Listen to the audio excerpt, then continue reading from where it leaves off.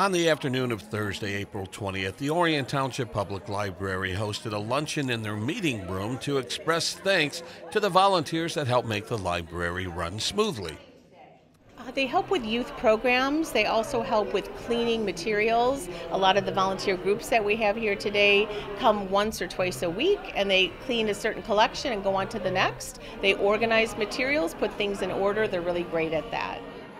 Approximately 80 people enjoyed a buffet lunch complete with dessert and live entertainment from vocalist Kevin Wills. It was the first time since 2019 the library has been able to host the event due to the COVID pandemic.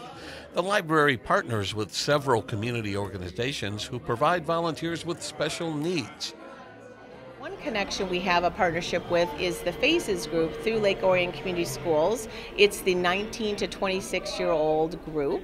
Um, so they're located at the Pine Tree Center and they come twice a week to volunteer. Also, New Horizons is another group that we use.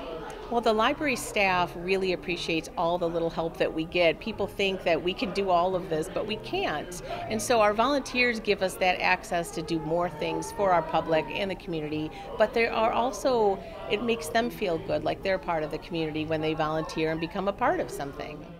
If you would like to volunteer your time at the library, you can contact Lori Morris at lmorris at orionlibrary.org or you can call 248 693 3000, extension 435.